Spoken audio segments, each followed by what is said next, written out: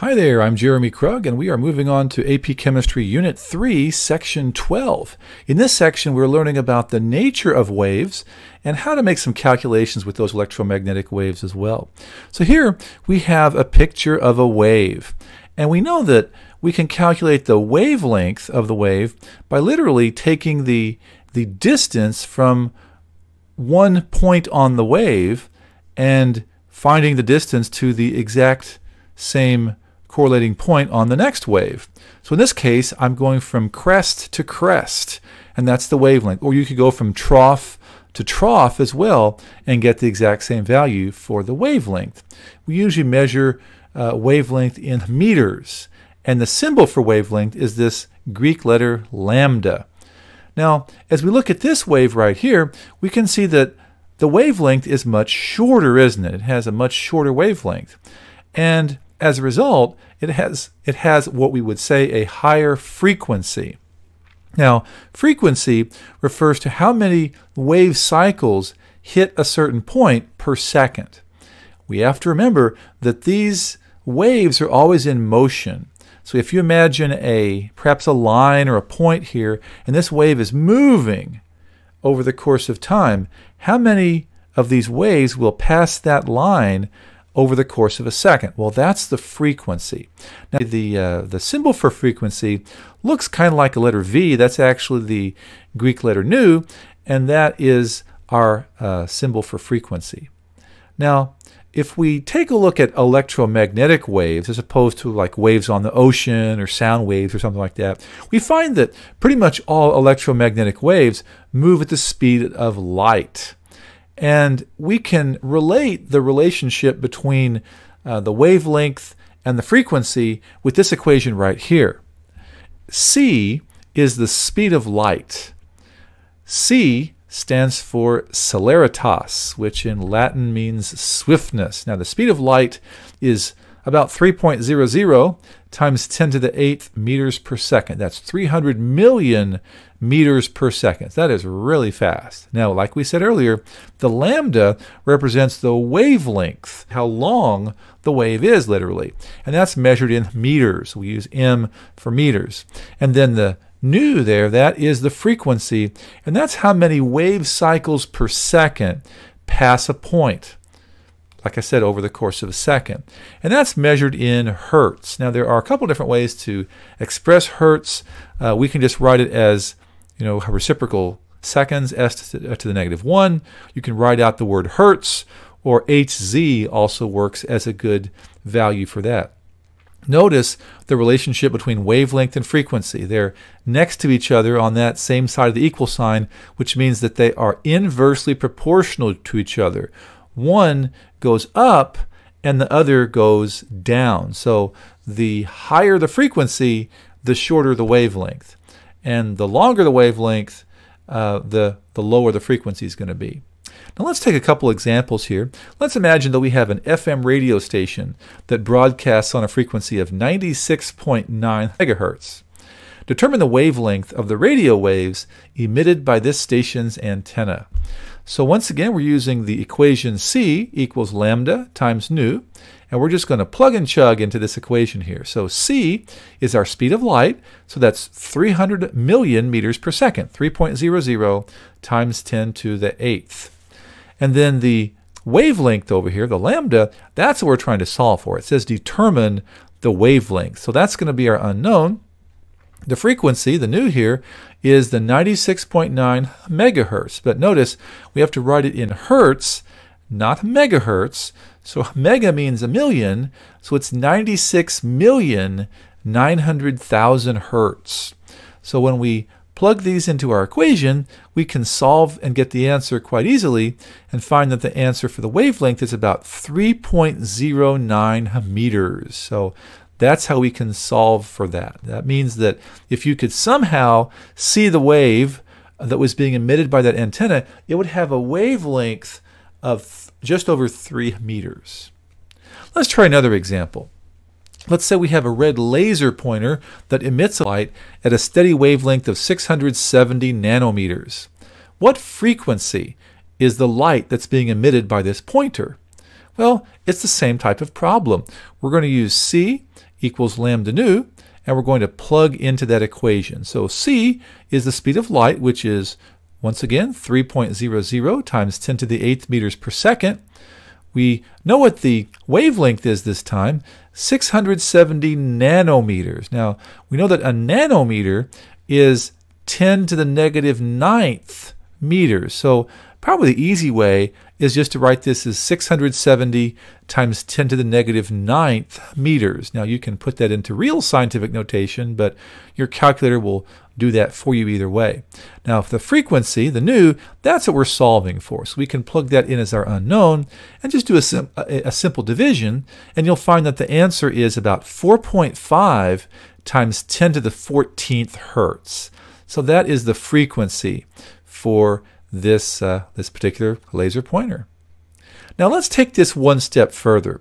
We've learned the, the uh, relationship uh, between the wavelength and the frequency, but what about something else? Let's take a look at the actual energy that's being packed in the photons of, these, of this light. Here is the relationship uh, between the energy of a photon and its frequency. It is directly proportional, and all you have to do is take the frequency of the light and multiply it by h. Now that is something that we call Planck's constant.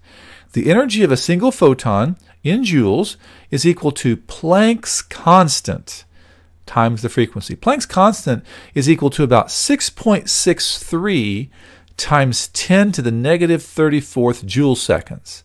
That's a very small number, which means that every little tiny photon out there has a very small amount of energy. We're talking about a very small packet of energy. But once you have a lot of these, then you have, of course, a lot of energy.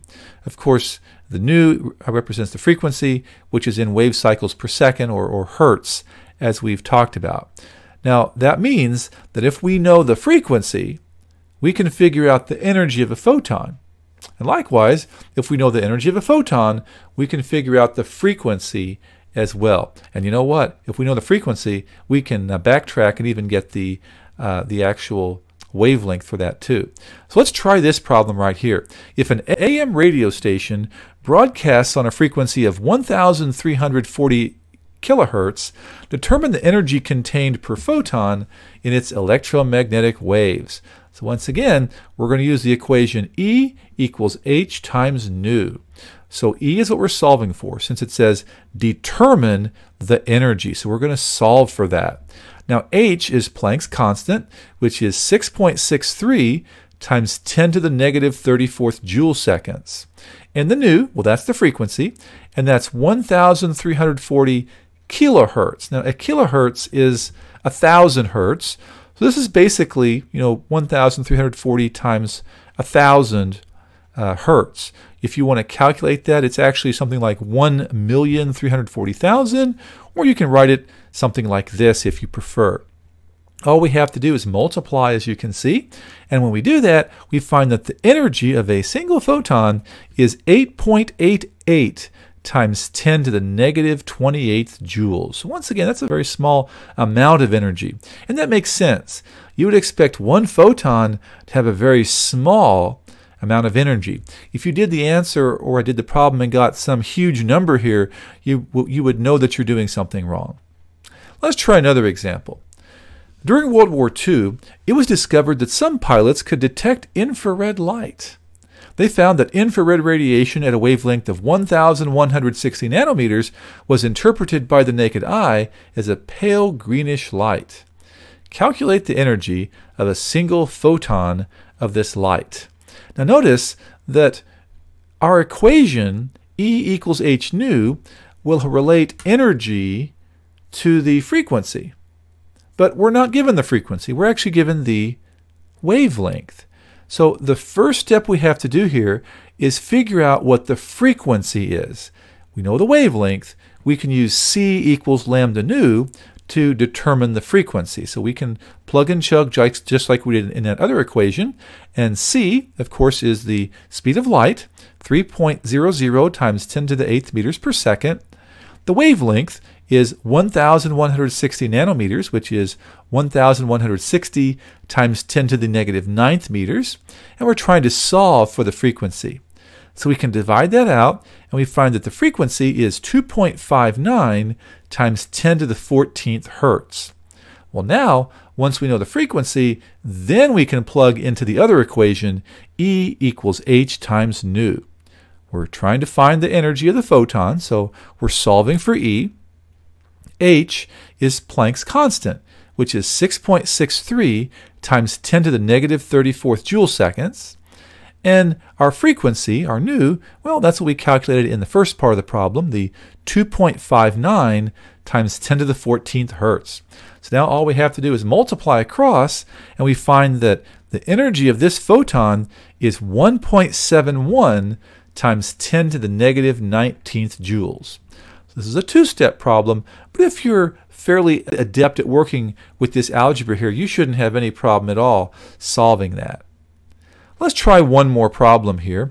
We're going to look at a photoelectron spectroscopy graph. Now, we did this earlier on in the course, way back in Unit 1, but this is a good review because we need to keep remembering how to do these problems. Let's label this PES diagram, and we're going to identify the element that we have here. Now, remember, if you can write an electron configuration, you can label a PES diagram. All we have to do is go from left to right it goes 1s, 2s, 2p, 3s, 3p, 4s. And so those, those peaks are labeled left to right just like you'd write an electron configuration in that very same order. And remember, the height of the peak uh, represents the relative number of electrons we have. Notice that all these S peaks have the same height. So that tells us that they all have two electrons in them.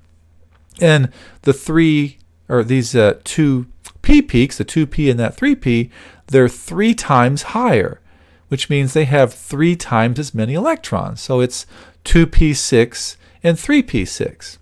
And if you look at the electron configuration that we've basically just written here, we know that that is the configuration for calcium. It ends with 4s2. Now, let's take this one step further. Let's calculate the wavelength in meters of electromagnetic radiation that's needed to remove an electron from the valence shell of an atom of the element. How do we do that? Well, let's think about the valence shell. Which peak would that be? Well, that would be the very last peak in this case, the 4s peak. And notice that there is an energy associated with those electrons. 0.979 times 10 to the negative 18th joules. Well, if we know the energy in joules, then we can use an equation, E equals h nu, to calculate the frequency, can't we? And if we know the frequency, we can determine the wavelength as well.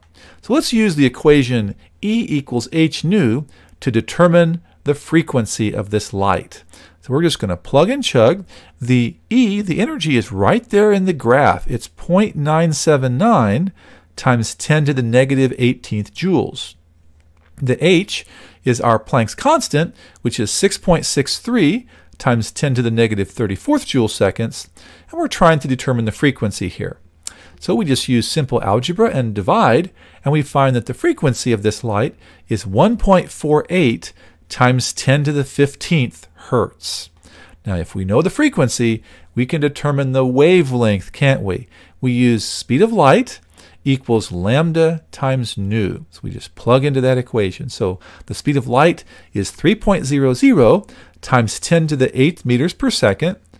We're solving for the wavelength, and we just calculated the frequency as 1.48 times 10 to the 15th hertz. Do a simple division, and you'll find that the wavelength is 2.03 times 10 to the negative seventh meters. Or, if you prefer, you can convert that to nanometers, and that's about 203 nanometers. And if we think about how that would plot on our electromagnetic spectrum, well, this is the visible light spectrum, and 203 nanometers is a little bit off of this, and so it's beyond violet. So I think it's safe to say that this frequency or this, this light would be in the ultraviolet range. So this is a nice application of a question that they might ask you on an exam, like an AP exam or some other type of exam, about wavelength and frequency and energy of a photon. I hope you enjoyed this video. Hope you learned something from it. If you did, please smash that like button and share my videos with uh, somebody else in your AP Chemistry uh, class or a colleague of yours. Uh, I, I, thank you for joining me. I'm Jeremy Krug and hope to see you in my next video, which is going to get us started on Unit 3, Section 13 of AP Chemistry.